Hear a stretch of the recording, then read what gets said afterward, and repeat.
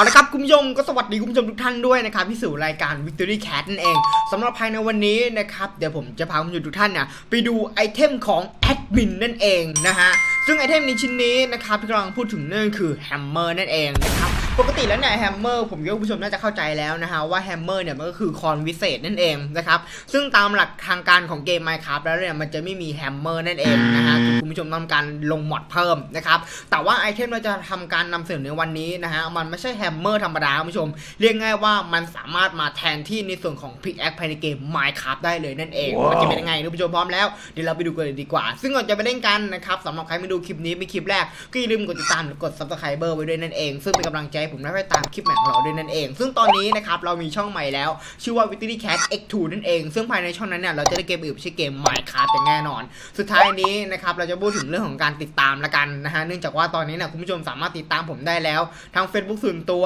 นะครับแล้วก็ Instagram นะฮะแล้วก็ภายในช่อง YouTube ของเรานั่นเองนะครับโอเคเดี๋ยวเราไปดูเกมกันเลยดีกว่า let's go ซึ่งตอนนี้นะครับเราก็อยู่ในเกมเป็นที่เรียบร้อยแล้วนั่นเองนะครับซึ่ง Minecraft เรากำลังเล่นอยู่นะตอนนี้ก็คือ Minecraft เวอร์ชัน12.2 นั่นเองนะฮะโอ้ มีบัวอยู่ด้านหลังเราซะด้วยนะครับโอเค ซึ่งของทุกอย่างเนี่ยอยู่ภายใน Victory Office เป็นที่เรียบร้อยแล้วนะโอ้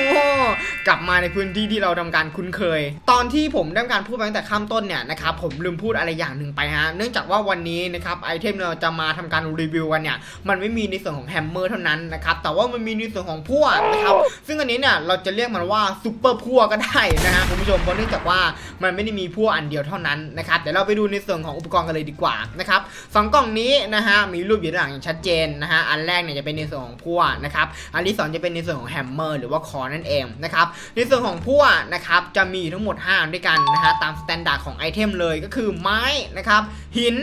เหล็กทองแล้วก็ diamond นั่นเองนะครับ ซึ่งผู้ชมเนี่ยสามารถทำการดูได้นะฮะผมไม่มั่นใจว่าเราต้องกดตัวอะไรนะฮะคุณผู้ชมตัว R หรือเปล่าวะหรือว่าตัว F นี่แหละนะฮะแต่เป็นว่าเราสามารถทำการ search ด้านนี้ได้นะครับเดี๋ยวเราจะไปดูในส่วนของ item กันนะฮะว่า item พวกนี้เนี่ยเราจะต้องทำการ craft ยังไงนะฮะอย่างเช่นอ่าผมต้องการในส่วนของพลั่วแล้วกันนะฮะพลั่วไม้ก่อนเลยครับคุณผู้ชม วิธีการ craft พลั่วไม้นะฮะก็คือใช้พลั่วไม้น่ะทั้งหมด 9 อันนะฮะมารวมกันหลังจากนั้นเนี่ยเราจะได้เป็นซุปเปอร์ พลั่วไม้มานั่นเองนะฮะเออ ก็ถือว่าเป็นอะไรที่ดีนะครับ ซึ่งความสามารถพิเศษของพวกนี้คืออะไรนะครับผู้ชมคือเราสามารถทำการขุดเร็วเพิ่มขึ้นนะฮะเดี๋ยวจะทำการดึงมาหมดเลยนะครับ ผมคิดว่าผมคงไม่ต้องพูดอธิบายแล้วนะฮะคุณผู้ชมว่าพวกแต่ละอันเนี่ยมันมีความแตกต่างกันยังไงนะครับ จริง ๆ แล้วผมมองว่ามันอาจจะไม่ได้แตกต่างกันนะฮะแต่เนื่องจากว่ามันเป็นแร่ที่หลากหลายรูปแบบใช่ไหมครับคุณผู้ชม เพราะฉะนั้นนะครับเวลาที่เราใช้บางตัวไปเนี่ยนะฮะมันจะทำให้บางตัวเนี่ยอาจจะมีปัญหาก็เป็นไปได้ อย่างเช่น ตัวบางตัวเนี่ยอาจจะพังเร็วนะฮะอย่างเช่นไม้แรมนองนี่แหละนะฮะคุณผู้ชม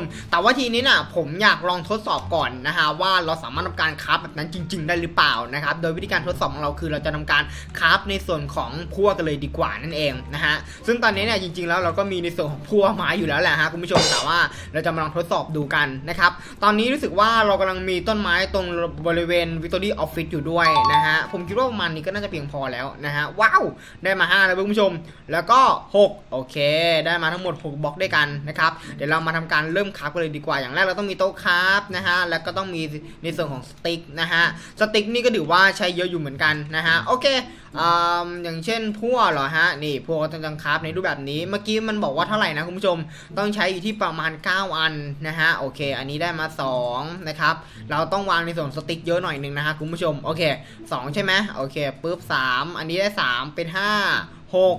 7 แล้วก็8นะฮะผมคิดว่าประมาณนี้ก็น่าจะได้เยอะอยู่เหมือนกันว้าวโอ้โหได้มา8แบบคุณผู้ชม แต่ว่ามันก็ยังไม่พอสำหรับเรานะฮะคุณผู้ชมเนื่องจากว่ามันต้องใช้ประมาณ 9 เลยนั่นเองนะฮะโอเค แถวนี้มีนะฮะเพราะฉะนั้นเดี๋ยวผมจะเอาต้นนี้สักต้นหนึ่งแล้วกันนะฮะอ่านำการโดแถวในส่วนของออฟฟิศเนี่ยนะฮะคุณผู้ชมจะได้ไม่ต้องไปไหนไกลนะครับถ้าเกิดสมมติว่าเราสามารถคับอันนี้ได้นะฮะเท่ากับว่าอื่นเนี่ยเราก็สามารถทำการคับได้เลยนั่นเองนะฮะโอเค เอามาสักประมาณ4บล็อกไปเลยกันนะฮะเนื่องจากว่าต้นไม้ต้นนี้น่าจะเป็นต้นไม้แคส Nope นะครับโอเค เราก็มาทำการคราฟไปเลยนะฮะได้บล็อกไม้มาเพิ่มอีกประมาณ 20บล็อกด้วยกันนะครับอ่าโต๊ะคราฟอยู่ตรงนี้โอเค วางสติ๊กไปนะฮะสติ๊กนี่เราต้องวางเท่าไหร่เนี่ยคุณผู้ชมถ้าเกิดสมมุติว่าเราวางในรูปแบบนี้ได้ไหมโอเค ได้มาเพิ่มอีก 2 นะฮะ พอไหมเนี่ย2 4 6 8นะฮะ10ว้าว ได้มา10แล้วครับคุณผู้ชม มาเดี๋ยวเรามาลองทำการคราฟกันเลยดีกว่านะฮะ สามสี่ห้าหกเจ็ดแปด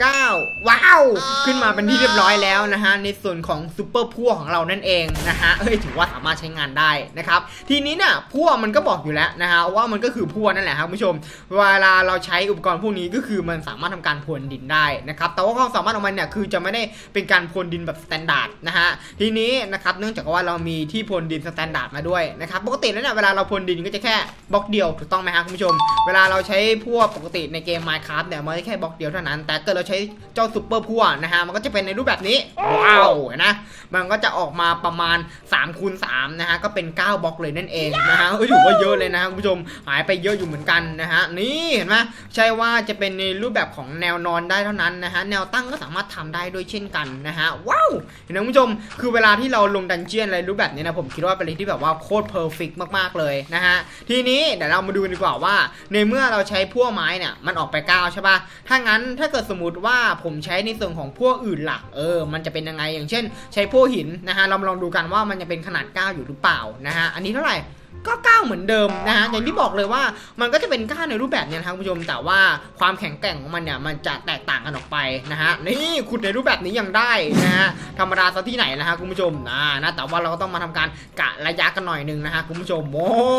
มาเป็นเหมือนกับว่าเขาวงกตยังทำได้เลยนะคุณผู้ชมทำไปเล่นไปนะฮะนี่นะคุณผู้ชมโอเค ดูจากทรงแล้วเนี่ยความสามารถคงไม่ได้แตกต่างกันมากนะครับเดี๋ยวเรามาดูในเรื่องของ damage กันดีกว่านะครับถ้าเกิดเป็นไม้ damage จะอยู่ที่ประมาณ 2.5นะครับถ้าเกิดเป็นหินจะอยู่ที่ 3.5 นะครับ ถ้าเกิดเป็นในส่วนของเหล็กก็จะ 4.5 ทองจะเป็น 2.5 นะฮะ ว้าวทำไมเป็น 2.5 วะเนี่ย ก็ไม่รู้เหมือนกันนะฮะ แล้วก็ในส่วนของ diamond ก็จะเป็น 5.5 นั่นเองนะครับ เรียกง่ายว่าในส่วน diamond เนี่ยความสามารถมันจะเยอะมากๆนะฮะ คือ damage เนี่ยสามารถทำการฆ่าในส่วนของ monster ได้เลยนะครับ รู้สึกว่าเมื่อกี้เราจะมีวัวเดินอยู่แถวๆนี้ใช่ไหมฮะ โอเคเดี๋ยวเราไปลองดูกันดีกว่าว่า ถ้าเกิดเราใช้ซูเปอร์ พลั่วในส่วนของเพชรเนี่ยนะครับหรือว่า diamond เนี่ยเวลาเราฆ่าวัวเนี่ยเราต้องตีกี่ทีนะครับหนึ่งสอง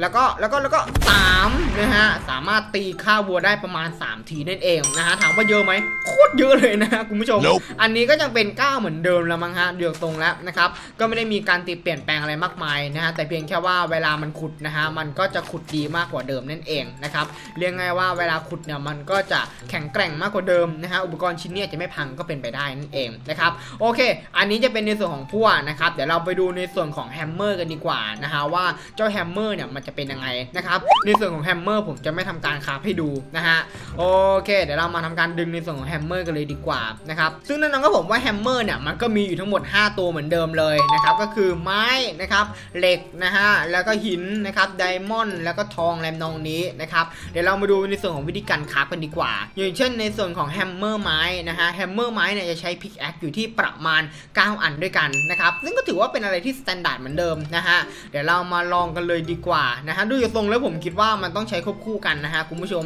เพราะว่าเราจะต้องทำการเริ่มขุดดินก่อนหลังจากเราทำการขุดดินไปเสร็จสรรพเป็นที่เรียบร้อยแล้วเนี่ยเราก็ค่อยทำการใช้ในส่วน hammer นั่นเองนะฮะเอ่อเอาพื้นที่ตรงไหนดีครับคุณผู้ชมเอาริมแม่น้ำดีกว่าคุณผู้ชม ไม่แน่เราจะเจออะไรก็เป็นไปได้นะครับอ่าตรงนี้แล้วกันนะครับทำการเริ่มขุดไปเลยนะฮะปึ๊บปึ๊บโอ้ยอันนี้ฮะคุณผู้ชมนี่เราก็เริ่มขุดในรูปแบบนี้นะครับว้าว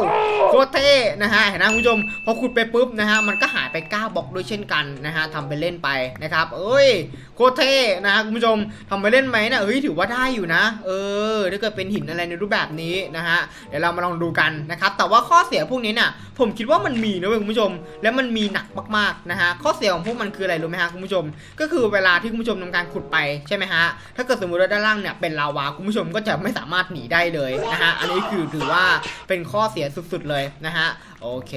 นี่เราก็ทำการเก็บในส่วนของกรวดไปนะฮะโอ้นี่ลงมาแป๊บเดียวเนี่ยคุณผู้ชมบอกเลยว่าโคตรเยอะนะฮะนี่ยเราก็ทำการเริ่มขุดไปอะไรในรูปแบบนี้นะฮะหรือว่ามันไม่ทันใจนะฮะเราก็สามารถทำการใช้ในส่วนของ Diamond Hammer ได้นะครับอุ้ยอันนี้เร็วว่ะเฮ้ยอันนี้ถือว่าเท่นะครับแล้วก็จะมีในส่วนของเหล็กนะฮะเราก็ทำการเก็บเหล็กไป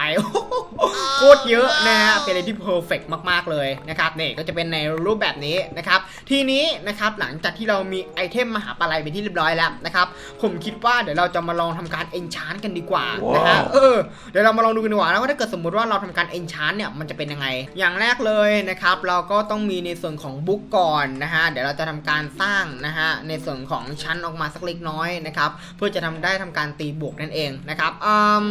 ถ้างั้นเดี๋ยวก่อนนะ ถ้างั้นถ้างั้นอ่าอันนี้เดี๋ยวเราว้าวโอ้โหเกมโหมดก็สามารถใช้งานได้นะฮะคุณผู้ชมทำไปเล่นไปนะครับไอผมก็นึกว่าจะไม่สามารถใช้งานได้นะฮะโอเค เดี๋ยวเรามาทำการสร้างในส่วนของพื้นที่ให้เราเนี่ยทำการ enchant ของละกันนะฮะปึ๊บปึ๊บปึ๊บจริง ๆ แล้วมันน่าจะมีในส่วนของขวานด้วยนะฮะคุณผู้ชมโอ้โหถ้าเกิดมีนี่เป็นอะไรที่แบบว่า perfect สุดๆนะฮะเอ่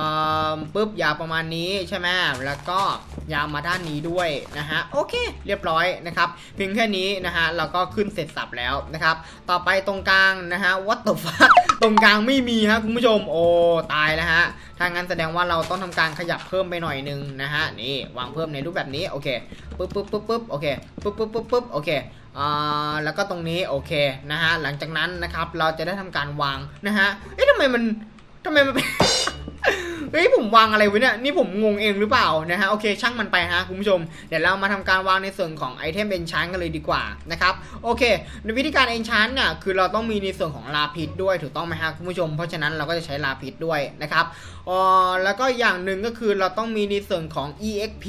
นะฮะ ซึ่ง exp เนี่ยถือว่าเป็นสิ่งที่สำคัญสุดๆเลยนะฮะ เพราะฉะนั้นเดี๋ยวผมขอทำการปั๊มในส่วนของ exp ก่อนนะฮะ เพื่อเราจะได้ทำการมี exp เพื่อไปทำการปั๊มเวลนั่นเองนะฮะ โอเค ผมคิดว่ามันนี้ก็น่าจะได้เยอะอยู่นะฮะ เดี๋ยวเราจะทำการปรับเป็นเกรมโหมดศูนย์นะฮะ โอเคอู้ได้มา 14นะคุณผู้ชมทำไปเล่นไปนะฮะ จะได้เอาแบบว่าหนาๆไปเลยนะฮะปุ๊บปุ๊บปุ๊บปุ๊บปุ๊บปุ๊บดูสิ ตอนนี้เรามีอยู่ประมาณกองหนึ่งนะฮะคุณผู้ชม ซึ่งผมคิดว่าเราอาจจะปั๊มได้เสร็จเร็วในไม่กี่วินาทีนี้นะฮะโอเค เรียบร้อยนะครับได้มาประมาณ 22 ว่ะคุณผู้ชมโอเคเดี๋ยวเรามาทำการ enchant ดูนะฮะว่าเราจะได้อะไรกันบ้างนะครับอันนี้คืออะไรเอ่ยไหนดูซิอันนี้คงทน2 no นะฮะเราไม่ต้องการคงทน2นะครับประสิทธิภาพ 2 เฮ้ย อันนี้ถือว่าน่าสนใจว่ะคุณผู้ชม ถ้าเกิดประสิทธิภาพเนี่ยผมคิดว่าน่าสนใจมากนะฮะโอเค